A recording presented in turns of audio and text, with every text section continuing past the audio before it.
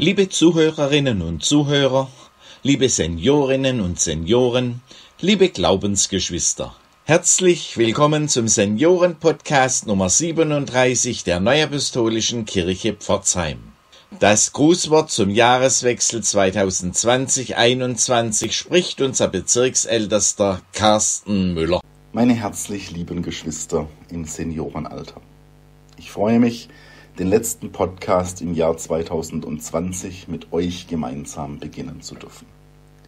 Wir blicken gemeinsam auf ein besonderes Jahr zurück. Ich persönlich werde das Wochenende 13. bis 15. März niemals vergessen das Wochenende, an dem entschieden werden musste, ob Gottesdienste stattfinden können oder nicht. Das Wochenende, wo wir am 15. März zum ersten Mal Videogottesdienste zu Hause im Wohnzimmer gemeinsam erleben konnten. Werde auch nicht vergessen, wie am 24. März, wenige Tage später, dann unser erster Podcast gesendet wurde. Aber jeder von uns hat so seine ganz persönlichen und ganz besonderen Erlebnisse in 2020. Mancher musste liebe Menschen in die jenseitige Welt abgeben. Es ist nicht alles gelungen, was wir uns vorgenommen haben, kann ich euch aus ganz persönlicher Einschätzung und ganz persönlichem Erlebnis sagen. Es gab auch in 2020 Konflikte, alte Konflikte, die wieder aufgebrochen sind, neue, die dazugekommen sind. Corona hat viele von uns einsam gemacht und hat vielen von uns Angst eingejagt. Was ist dein Fazit über 2020? Als ich mir diese Frage gestellt habe, bin ich an eine Jugendstunde vor wenigen Tagen erinnert worden, in der ein junger Diakon Psalm 73 in moderner Sprache zum Ausdruck gebracht hat. Psalm 73, wir kennen ihn aus den alten Übersetzungen mit Mein Fuß wäre beinahe gestrauchelt, als ich sah, wie es den Gottlosen so gut geht. Darf ich uns gemeinsam den Psalm 73 einfach mal etwas anders und in moderner jugendlicher Sprache vorlesen. Bist du für mich da oder nicht? Ich verstehe oft nicht, was um mich herum geschieht.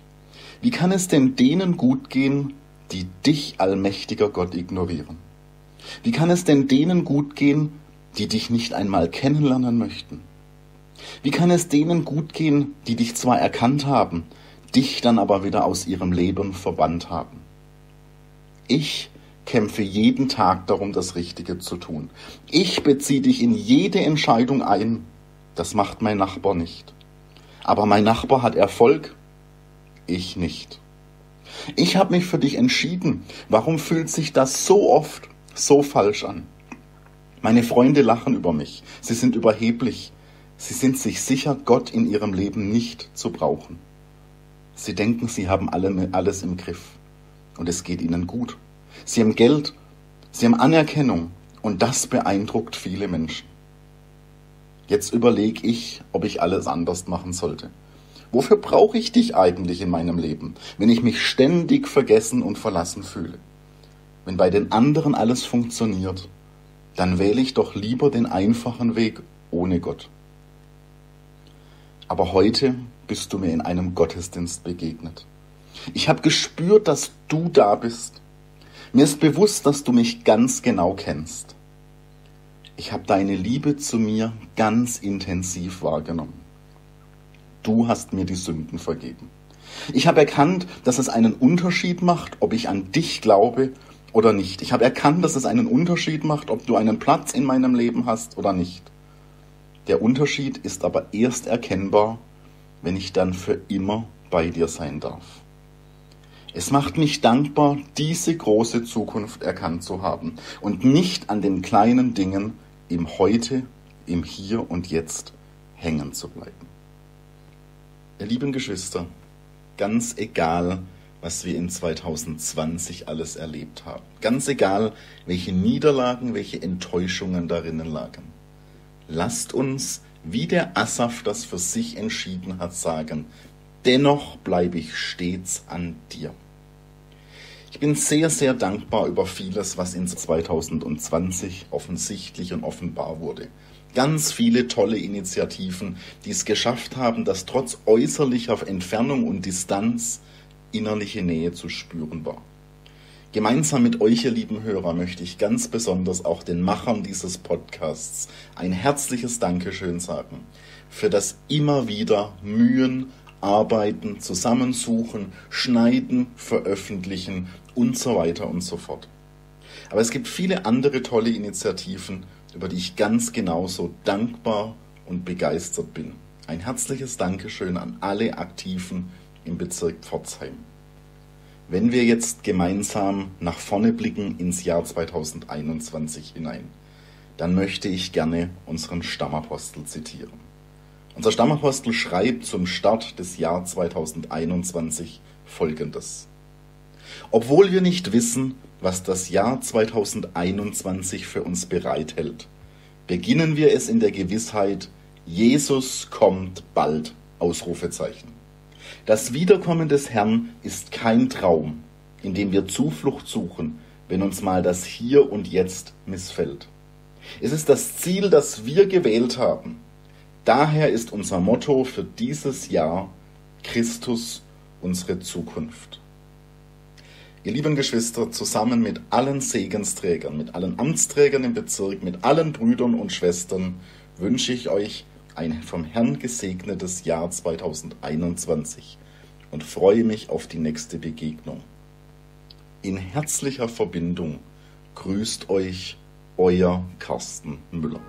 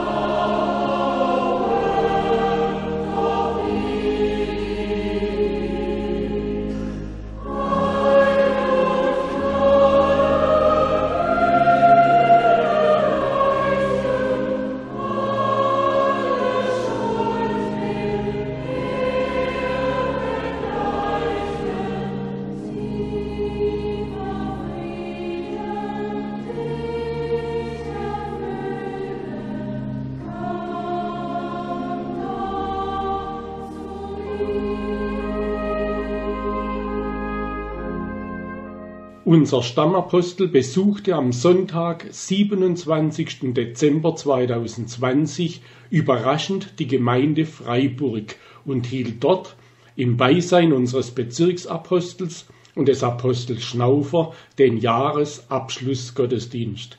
Hier eine Zusammenfassung des Gottesdienstes. Textwort 1. Petrus 1, die Verse 6 und 7. Dann werdet ihr euch freuen, die ihr jetzt eine kleine Zeit, wenn es sein soll, traurig seid in mancherlei Anfechtungen, auf dass euer Glaube bewährt und viel kostbarer befunden werde als vergängliches Gold, das durchs Feuer geläutert wird, zu Lob, Preis und Ehre, wenn offenbart wird Jesus Christus. Lied Nummer 31 segnet uns zu guter Letzt auch in diesem Jahresende. Der Stammapostel führte aus. Es hat in diesem Jahr viele Änderungen gegeben. Viel wurde auf den Kopf gestellt, im persönlichen, im gesellschaftlichen und auch im kirchlichen Leben. Wie steht der liebe Gott zu alledem? Im Lichte des Heiligen Geistes betrachtet ist das ein Abschnitt im Heilsplan Gottes ein Abschnitt der Vorbereitung der Braut auf die Wiederkunft Christi. Unter diesem Blickwinkel erkennt man, der liebe Gott hat seinen Plan nicht geändert. Die Wiederkunft Christi ist nicht abgesagt und auch nicht verschoben. Daran hat sich nichts geändert. Der Herr kommt. Der liebe Gott hat uns auch im zurückliegenden Jahr versorgt, geführt und geleitet. Wichtig für uns ist, dass wir Glauben behalten. Der Glaube, der in der Liebe tätig wird, ist das Kriterium zur Teilnahme an der Wiederkunft des Sohnes Gottes. Glaube heißt, eine innige und feste Beziehung zu Gott haben und Gott vertrauen.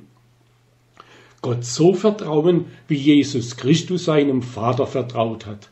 Christus ist unser großes Vorbild. Jesus war wahrer Gott und wahrer Mensch. Als Mensch musste er die Beziehung zu seinem Vater aufbauen. Seine Mutter mag ihm vielleicht einmal gesagt haben, wie das mit seiner Geburt zugegangen ist. Er hat sich schon sehr früh mit der Schrift beschäftigt. Er hat die Stimme Gottes gehört. Du bist mein lieber Sohn, an dem ich wohlgefallen habe. Das hat er im Glauben aufgenommen und sich damit beschäftigt. Er hat eine ganz innige Beziehung zu Gott im Gebet. In all dem hat er die Beziehung zu Gott aufgebaut und gepflegt und deshalb war seine Beziehung und sein Vertrauen zu Gott so innig. Das ist auch unsere Priorität. Wir wollen uns mit der Schrift befassen und in ein inniges Gebetsleben führen, dass wir eine innige Beziehung und Vertrauen zu Gott entwickeln. Laut unserem Textwort wird dieser Glaube, dieses Vertrauen geprüft. Auch Abrahams Glauben wurde geprüft. Als Gott ihn aufforderte, den verheißenen Sohn zu opfern, Abraham vertraute auf Gott, ohne zu versuchen, diese Situation zu verstehen. Als das damalige Volk Gottes durch die Wüste zog, hin zu dem verheißenen Land, sorgte der Herr für sein Volk mit allem Nötigen. Er gab ihnen Wasser und er gab ihnen zu essen. Als sie aber am Berg Horeb ankamen, mangelte es ihnen an Wasser. Sie litten Durst und murrten. Trotz allem, was sie bis zu diesem Augenblick erlebt hatten, mangelte es ihnen an Gottvertrauen. Die Lektion daraus? Die Beziehung zum Geber ist wichtiger als die Gabe, die er dir schenkt. Auch der Sohn Gottes wurde in seinem Vertrauen geprüft. Mach doch aus diesen Steinen Brot. Auch hier die Frage, was ist dir wichtiger, die Gabe oder der Geber? Er wurde auf die Zinne des Tempels geführt. Wirf dich hinunter, die Engel werden dich behüten. Da war der Glaube gefragt. Kannst du glauben ohne Zeichen oder brauchst du Zeichen, um zu glauben? Der Teufel hat ihm die Reiche der Welt angeboten. Da ging es um die Beziehung zu Gott, um oder um irdischen Wohlstand.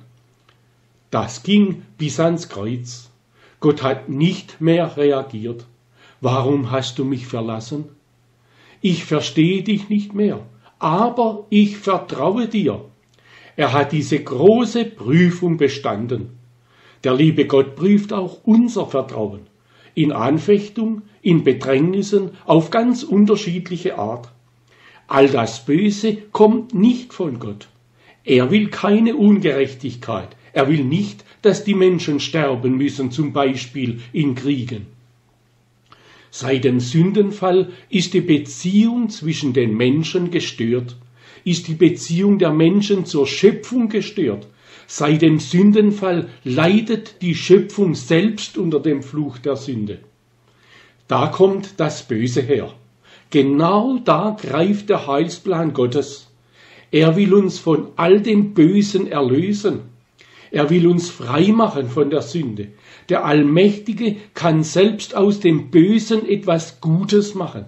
Der Glaube wird geläutert er prüft uns, damit wir feststellen, wie stark ist denn mein Glaube, wie tief ist mein Vertrauen, was muss ich ändern. Der Herr ist noch nicht gekommen. Manche meinen in unserer Zeit, das Wiederkommen des Sohnes Gottes muss man symbolisch sehen. Nein, wir haben Vertrauen in das Wort Gottes. Der Herr kommt. Der liebe Gott hat im vergangenen Jahr nicht immer geholfen, nicht immer auf unsere Gebete reagiert. Was ist uns jetzt wichtiger? Die Gabe oder die Beziehung zum Geber? Wir haben nicht alles verstanden, aber wir vertrauen einfach. Wir konnten im vergangenen Jahr teilweise kein heiliges Abendmahl feiern. Auch da wollen wir Vertrauen haben zu unserem himmlischen Vater, es so machen wie Abraham und sagen, ich verstehe das jetzt nicht, aber ich vertraue dir.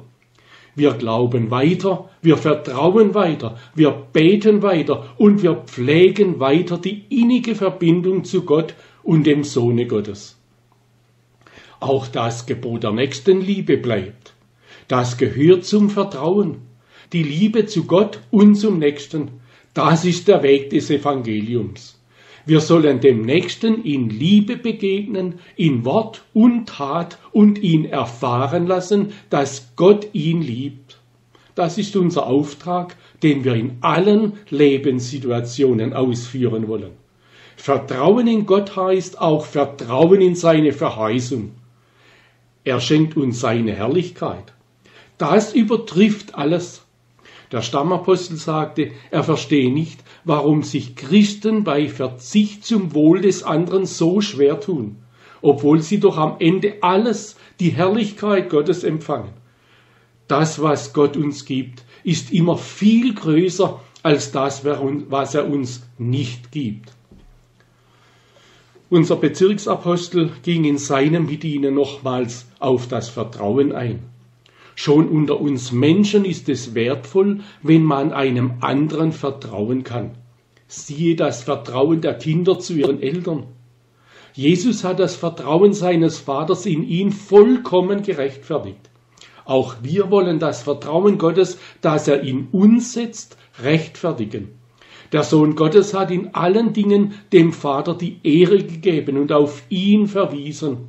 So wollen wir es auch machen und auch damit das Vertrauen Gottes zu uns rechtfertigen.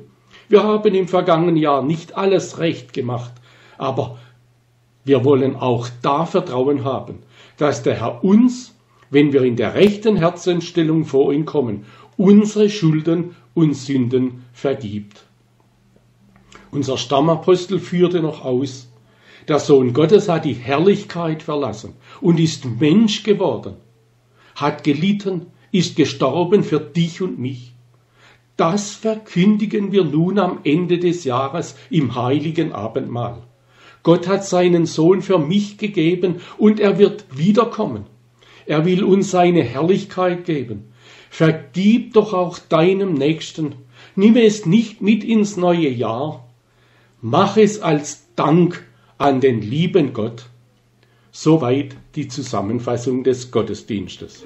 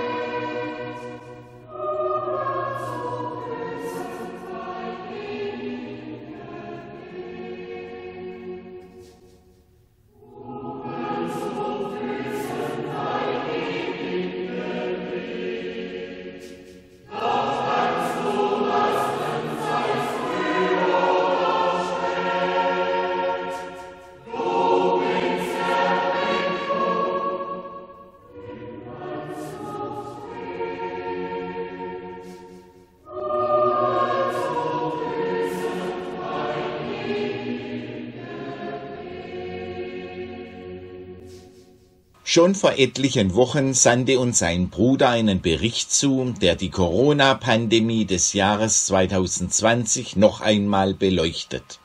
Dabei sind allerdings die dramatischen Entwicklungen der letzten Wochen noch gar nicht berücksichtigt. Hallo, hier ist LL Podcast Beitrag. Leben bedeutet eine ständige Veränderung. Lasst uns dazu gerne einmal die letzten sechs Monate die unser Leben bewegten und verändert haben, gemeinsam per Revue passieren. Am 6.2.2020, als in unseren Horizonten scheinbar alles noch in Ordnung war, kamen wir doch gerade nach einem elfstündigen Flug von Mauritius nach Frankfurt glücklich und energiegeladen von unserer Trauminsel Il Mauritius, die knapp so groß wie das Saarland ist, aus einem kleinen Paradies im Indischen Ozean zurück. Dass wir schon 23 Tage danach mit einer weltweit katastrophalen Realität konfrontiert werden sollten, konnten wir damals nicht mal ahnen. Der 1. März 2020 war dann bereits der Beginn einer weltweiten Pandemie mit dem Namen Covid-19, die plötzlich allgegenwärtig zugegen war und damit auf uns unaufhaltsam zukam. In Folge wurde über Deutschland etwas moderater ausgedrückt der Shutdown verhängt. Zeitgleich erfolgte in unseren Nachbarländern der vielfach härtere Lockdown. In den Medien überschlugen sich täglich die Nachrichten von Neuinfektionen dieses lebensgefährlichen, hoch ansteckenden Coronavirus, der bis heute weltweit über 23 Millionen Menschen infizierte, von denen bereits über 800.000 Todesopfer zu beklagen sind. Deshalb galt ab sofort das Gebot der Stunde, mit allen Mitteln die Verbreitung des Virus einzudämmen und damit die Fallzahlen zu verringern. Unmittelbar betroffen waren auch wir, die Älteren, da wir bereits unmittelbar als Risikogruppe galten. Als weitere Bekämpfungsmaßnahme dieser Pandemie wurden fast alle öffentlichen Aktivitäten, die nicht als systemrelevant galten, heruntergefahren, verboten oder ausgesetzt. Die Benutzungsmöglichkeiten der öffentlichen Verkehrsmittel wurde auf ein Minimum eingeschränkt und reduziert. Auf den Straßen und Autobahnen in unseren Städten verringerte sich schlagartig das Verkehrsaufkommen. Am Himmel waren keine Flugzeuge mehr und deren Kondensstreifen zu sehen. Unsere Innenstädte waren wie ausgestorben. Läden, Restaurants, Hotels und Gaststätten blieben geschlossen. Dazu kam, dass alle Reisen von den Veranstaltern abgesagt wurden. Ein weltweites Reiseverbot trat in Kraft. Der gesamte Flugverkehr kam damit zum Erliegen. Flughäfen und Bahnhöfe waren plötzlich verwaist. Es wurde ein öffentliches Versammlungsverbot verhängt. Das verbindliche Tragen von Mund, Nasenschutzmasken wurde zur Pflicht. Plötzlich spürte man bei unseren Mitmenschen aufkommende berechtigte Ängste. Es ging um die eigene Gesundheit, einer neuen wirtschaftlichen Rezession mit Verlust des Arbeitsplatzes und den damit verbundenen verheerenden finanziellen Folgen. Viele Menschen verloren über Nacht ihren Arbeitsplatz, ihr Einkommen und sogar ihr Leben. Lasst uns deshalb aus christlicher Nächstenliebe für sie beten. In den Medien wurde von Panikkäufen bestimmter Hygieneartikel und dem Ausverkauf einiger Lebensmittel berichtet. Alle öffentlichen Veranstaltungen mussten abgesagt werden. Sämtliche Universitäten, Schulen, Kindertagesstätten Öffentliche Spielplätze und die Kirchen wurden geschlossen. Geplante Heiraten fanden nicht mehr statt. Bei Beerdigungen waren nur die nächsten Angehörigen zugelassen. Alle Gottesdienste wurden ausgesetzt. Sämtliche Alten, Kranken, Familienbesuche oder Feiern wurden unter Androhung von hohen Strafen untersagt. Viele unserer Mitmenschen wurden in dieser Zeit alleine gelassen und waren somit nur auf sich gestellt.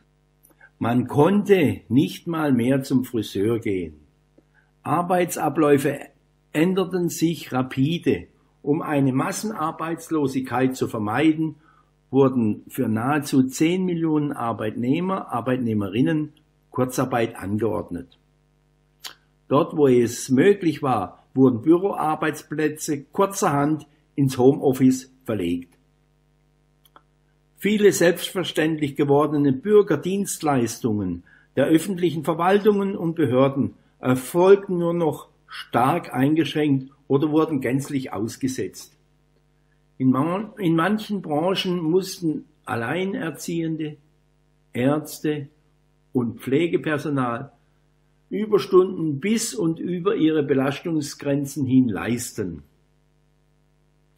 Der Gesundheitsschutz der Allgemeinheit hatte absoluten Vorrang und war oberste Priorität. Unsere Grundrechte wurden sehr stark eingeschränkt, teilweise ganz außer Kraft gesetzt.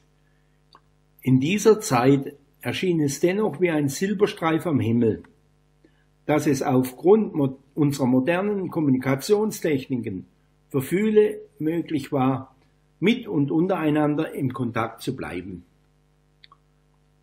So wurden bereits ab dem 14. März und darauffolgenden Sonntagen über YouTube wieder neuapostolische Gottesdienste zum Miterleben angeboten. In dieser Zeit wurden wir ebenfalls von unseren Seelsorgern vorbildlich betreut. Dabei konnten wir zwischen vielen verschiedenen und sorgfältig abgestimmten kirchlichen Angeboten oder Beiträgen individuell auswählen und diese dann per WhatsApp oder als Podcast regelmäßig herunterladen. Auch wurden wir bezirks- und gemeindeintern mittels der Möglichkeit des Videostreamings mit regelmäßigen Gottesdiensten in Wort und Bild bestens versorgt.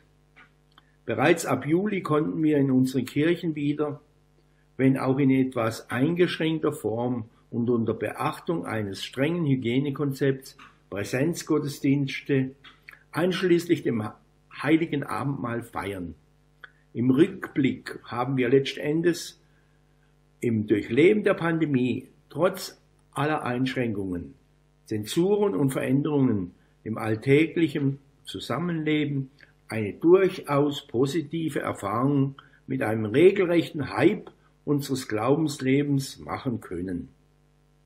So durften wir in der ganzen Zeit hochkarätige Gottesdienste mit der Sündenvergebung erleben. Für uns war es besonders ideal, diese Gottesdienste daheim, risikoarm und ganz privat in, in, in unseren Wohnungen mitzufeiern. Wenn dies alles auch schon wieder ein wenig der Vergangenheit angehört und bei vielen mit der Zeit wieder in Vergessenheit gerät, bin ich fest überzeugt, dass dies alles mit dazu beitragen musste, um unser Glaubensleben positiv zu verändern. Leider bis jetzt ist die Pandemie noch nicht besiegt. Trotzdem, ich vermisse auch euch und die Gemeinschaft miteinander in herzlicher Verbundenheit. Bleibt behütet in dieser Zeit mit sonnigen Grüßen aus Keldern, euer Glaubensbruder LL.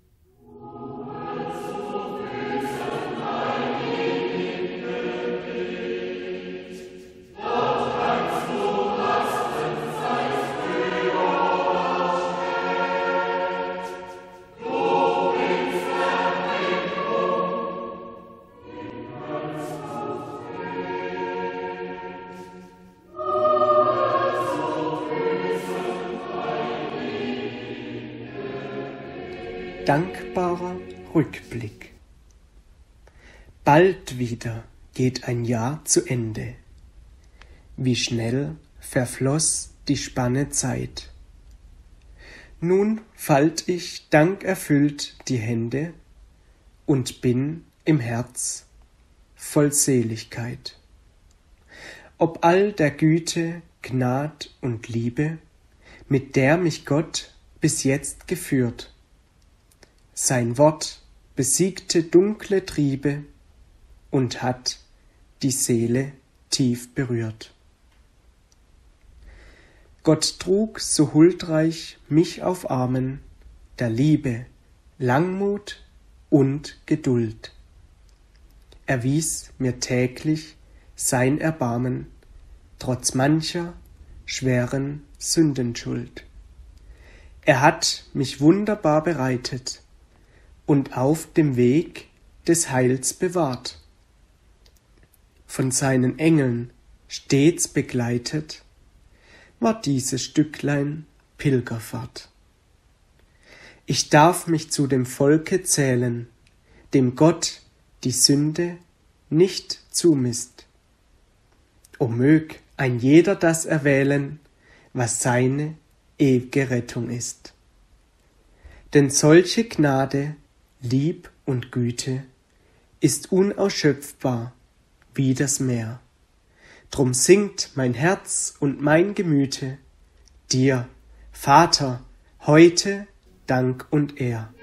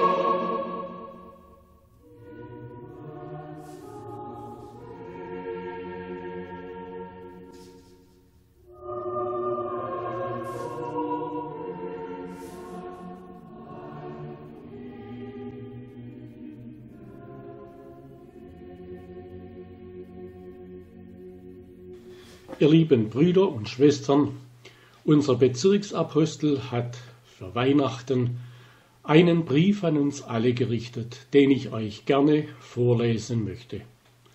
Unser Bezirksapostel schreibt, Liebe Geschwister, es ist mir ein Anliegen, im Hinblick auf Weihnachten einige Gedanken an euch zu richten. Zuerst lege ich euch hiermit den Frieden aus Jesus Christus in die Seele. Es ist der Friede unseres Herrn und Heilands, der in Bethlehem geboren wurde, in Jerusalem zur Erlösung der Menschen den Opfertod starb, auferstanden ist und wiederkommen wird. Die Tatsache der Geburt Jesu, der wir am Weihnachtsfest gedenken, macht unsere Weihnachtsfreude aus. Im Matthäusevangelium wird eine Stelle aus dem Jesaja-Buch zitiert und ein zweiter Name des Kindes genannt. Immanuel. Dieser Name bedeutet Gott mit uns. Jesus erfuhr in vielfältiger Weise, dass Gott, der Vater, mit ihm war. Auch wir dürfen weiterhin fest und sicher darauf hoffen, dass Gott sich uns zuwendet. Gott ist mit uns. Er liebt die Menschen, er steht den Sündern zur Seite. Dass Gott für uns und bei uns ist, alle Tage, schenkt Trost, Kraft und Frieden und ist eine weitere Quelle unserer Freude, nicht nur an Weihnachten. Zur Erdenzeit Jesu half Gott der Vater dem Sohn allerdings nicht dadurch, dass er ihm Leiden ersparte, jedoch dadurch, dass er ihm Kraft schenkte, diese zu durchstehen.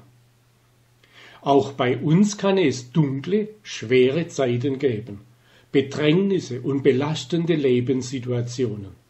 Dann gilt es, sich fest darauf zu verlassen, Gott mit uns.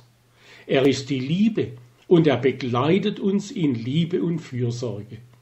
Er schenkt Kraft und er wird mit denen, die ihm vertrauen, alles wohl hinausführen. So widme ich euch zu Weihnachten 2020 das Wort des Psalmisten. Seid getrost und unverzagt alle, die ihr des Herrn harret. Psalm 31, Vers 25. Möge dieses Weihnachtsfest in uns allen die Freude stärken, dass Gott mit uns ist und unsere Entschlossenheit bekräftigen, bei ihm zu bleiben, was auch kommen mag. mit herzlichen und lieben Grüßen sowie Segenswünschen für ein gutes neues Jahr, auch von den Aposteln meines Arbeitsbereichs, euer Michael Erich.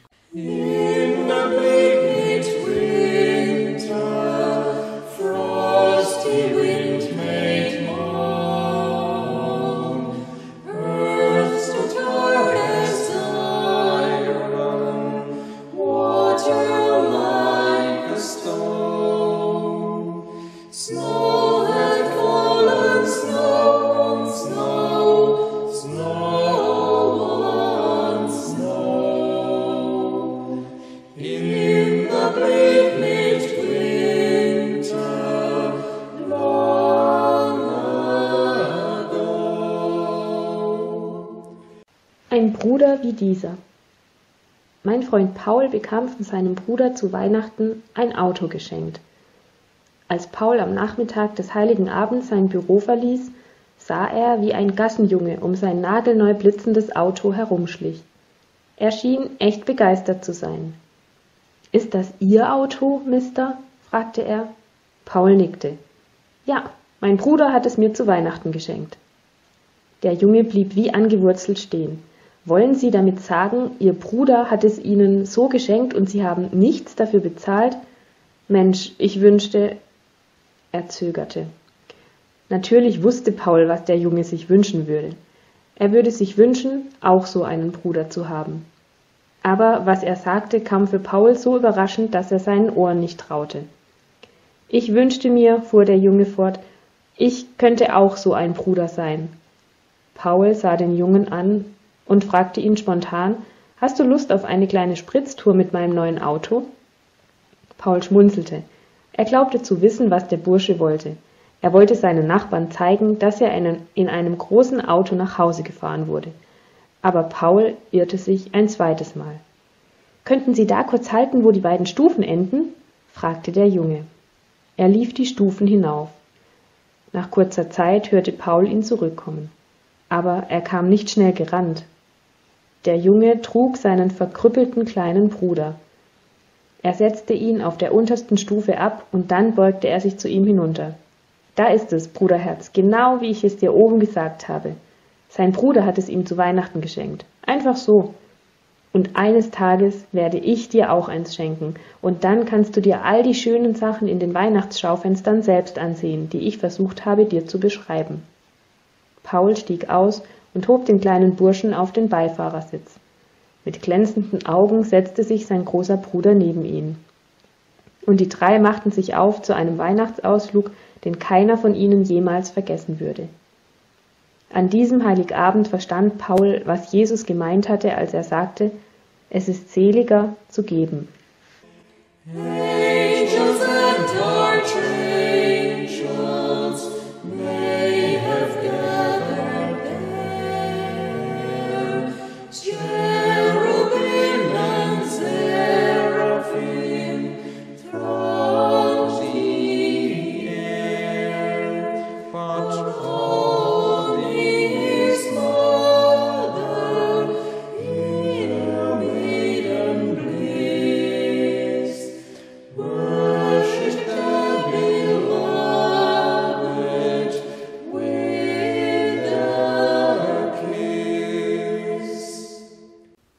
Gerne möchte ich euch nun noch einladen, dass wir gemeinsam beten. Und bevor wir das tun, lasst uns wirklich uns gemeinsam verbinden. Und auch wenn jetzt nicht alle zeitgleich beten, so mögen wir doch die Verbindung von Herz zu Herz durch den Bezirk hindurch zu all den Lieben, die sich nun am Podcast beteiligen und mitbeten spüren.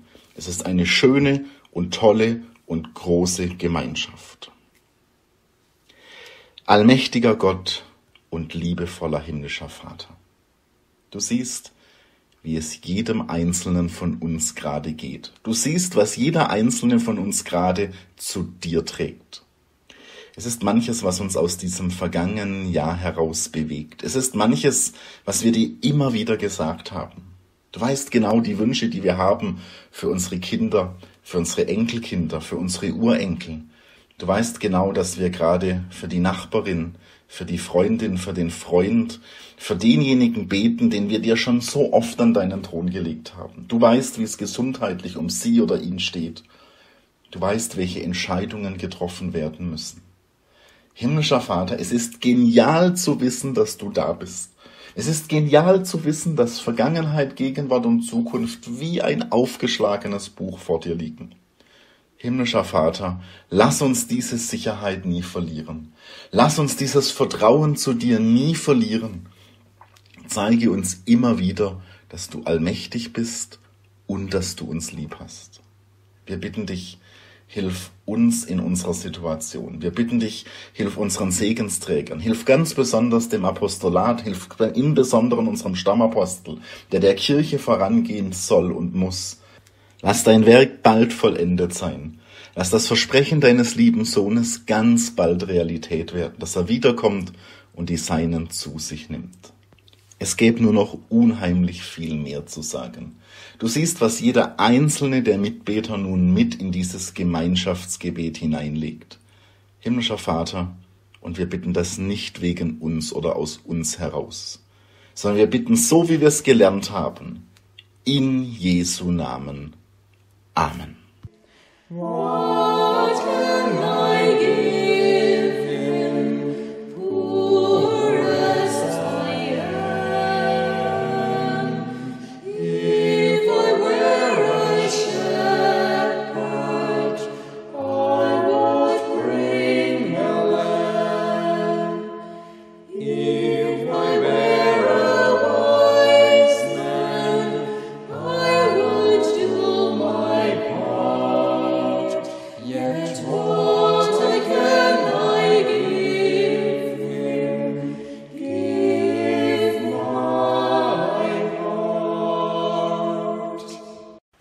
Am Jahresende 2020 bedanken sich die Bezirksseniorenbeauftragten herzlich bei allen, die zum Gelingen der 37 Ausgaben des Podcasts für unsere Senioren beteiligten. Der Dank gilt jedoch auch unseren Zuhörern für das große Interesse. Über die vielen Rückmeldungen, die uns nicht nur aus unserem Bezirk erreichten, haben wir uns sehr gefreut. Den damit verbundenen Dank geben wir gerne an unseren großen Gott und himmlischen Vater weiter, der nicht nur die Gedanken, Ideen, Texte, Musik und so geschenkt, sondern auch viele Mitwirkende inspiriert hat, sich in verschiedenster Weise an der Umsetzung zu beteiligen. Und nicht zu vergessen die technischen Möglichkeiten, um diese Podcasts per YouTube und per Telefon zu senden. Auch dafür gehört dem Allmächtigen der große Dank.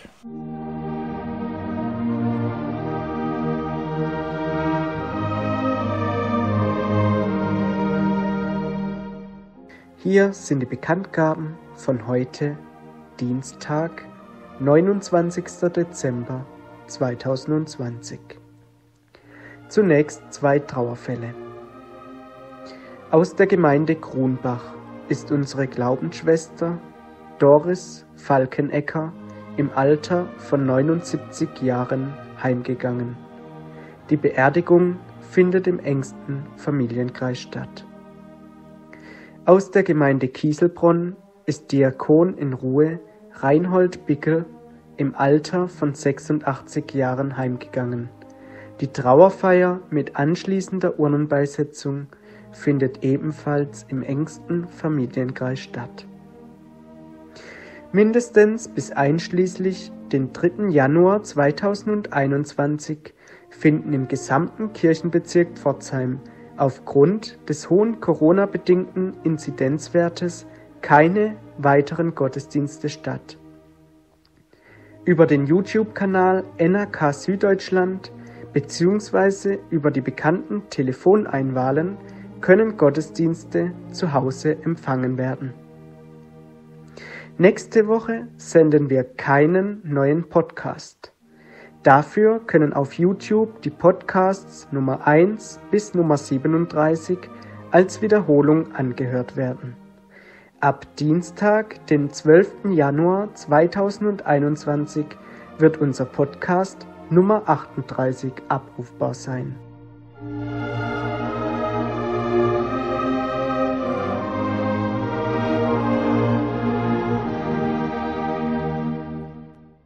Das war der Podcast Nummer 37 für die Senioren der Neuapostolischen Kirche im Bezirk Pforzheim. Es sprachen Carsten Müller Bezirksvorsteher, Norman Denzinger Bezirksseniorenbeauftragter, Adrian Euchner Koordinator für das Einlesen der Texte, Jonas Euchner Birkenfeld, Naemi Euchner derzeit Hamburg-Eppendorf, Larissa Leonhardt Bayernstraße, LL Brötzingen. Weitere Mitarbeit, Esther Daubeisingen. Musik, Manfred Rivoa Orgel und Trompete Bayernstraße, Vokalquartett der Gemeinde Büchenbronn mit Natascha und Andreas Denzinger, sowie Corinna und Fabian Müller, weitere Musik mit freundlicher Genehmigung dem YouTube-Kanal Dietmar Wedel entnommen. Tonschnitt, Friedhelm Carter Bayernstraße. Gesamtleitung, Wolfgang Müller stellvertretender Bezirksseniorenbeauftragter.